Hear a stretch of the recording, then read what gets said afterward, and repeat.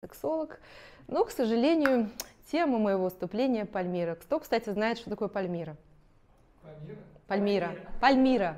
Пальмира. О, представляете, а я когда эту тему получила, я вообще не знала, что такое Пальмира.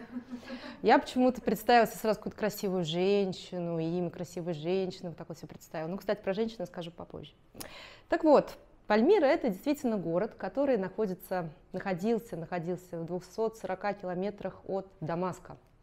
И это был город-оазис. Это был очень красивый город, который был построен из белого мрамора, был построен из ракушечника.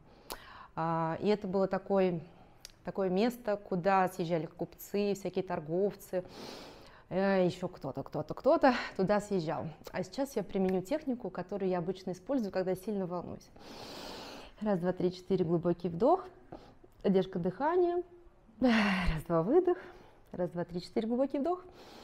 Задержка дыхания. Раз, два, выдох. Раз, два, три, четыре, глубокий вдох.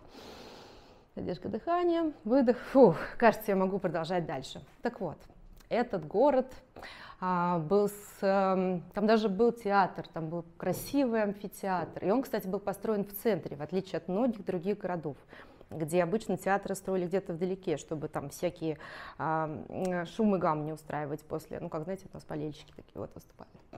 Вот.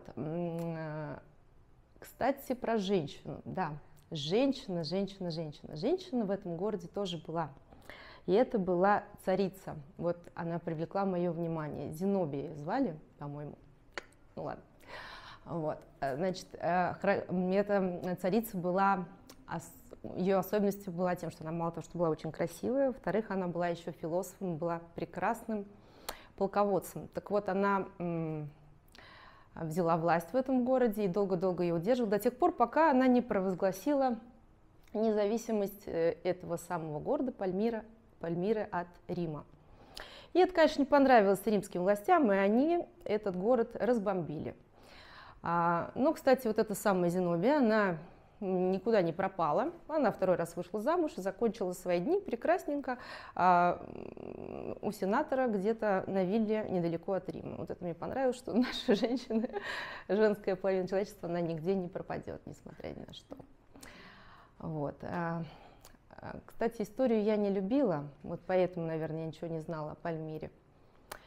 И когда я стала думать и мечтать о том, что вот бы было бы классно посетить сейчас этот город, эти руины, развалины, знаете, как Рим себе представил, что можно пройтись, походить, я, к сожалению, узнала о том, что этот город был окончательно разбомблен в сирийскую войну, и страшные кадры как раз на этом амфитеатре а, облетели весь мир. 25 сирийских бойцов были там казнены.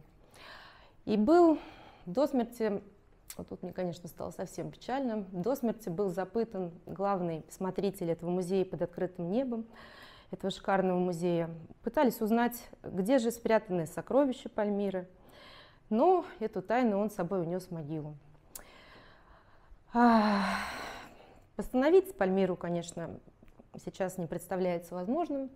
Я даже не знаю, чего меня сейчас больше трясет, от того, что я волнуюсь, или от того, что я просто представляю, как люди могут вот так вот поступать с древнейшими памятниками архитектуры.